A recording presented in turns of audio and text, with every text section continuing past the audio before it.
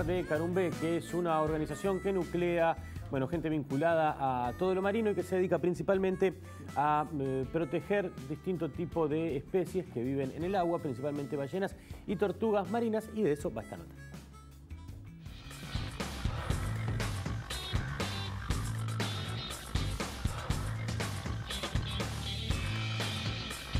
Aquí lo que tenemos es una exposición de los 15 años de trabajo que tiene Carumbé en cuanto a la protección de las tortugas marinas en Uruguay. Es una exposición que refleja todos los aspectos de nuestro trabajo de cotidiano, desde qué tipo de tortugas llegan a Uruguay, la investigación científica que realiza nuestra organización, las actividades educativas, las amenazas que, tienen las tortugas, el, riesgo de supervivencia y también podemos ver parte del trabajo de rescate y rehabilitación de tortugas. Son cinco especies que vienen a alimentarse a las costas de Uruguay y las cinco especies están en peligro de extinción. Entonces, desde Carumbé nosotros fomentamos la protección, la conservación de las tortugas, pero la, conservación va de la mano de la gente.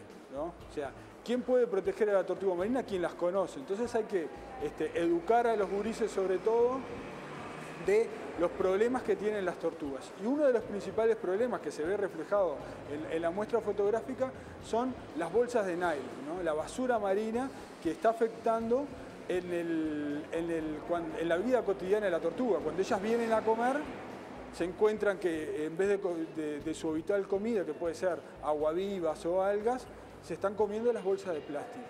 Y eso afecta este, al estómago, al intestino, eh, a, la vida diaria de la tortuga y aparecen en la costa. Y ahí es cuando nosotros entramos en acción. Si una tortuga aparece en la playa es porque tiene problemas y así es que nosotros este, pasamos a rescatarla, a llevarla a nuestro hospital de tortugas. Este, también eh, se puede observar en esta muestra fotográfica. La organización eh, cuenta con profesionales de varios ámbitos, por ejemplo, oceanógrafos, biólogos, pero también veterinarios y también educadores. Este, todos este, con una fuerte este, mm, especialización. ¿no? Hemos estudiado este, eh, para esto en varias partes del mundo, ¿no? no solo, o sea, si bien muchos estudiamos en la universidad aquí en Uruguay, tuvimos que salir al exterior para capacitarnos más porque en Uruguay no había un proyecto de conservación de tortugas marinas a largo plazo hasta que creamos este, Carumbé hace 15 años atrás.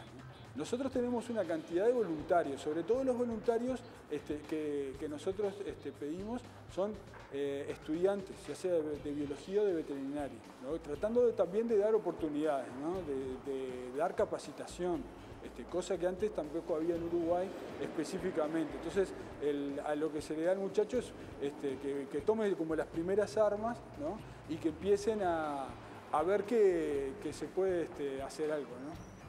Tienen que llamarnos a nuestro teléfono 098-614-201 o si no, comunicándose por eh, el mail o la página de Facebook. tenemos un Facebook que es carumbe.org, que es como una especie de, funciona como una especie de informativo. Ahí se suben todas las noticias y, este, se dan todas las, eh, se postean todas las actividades.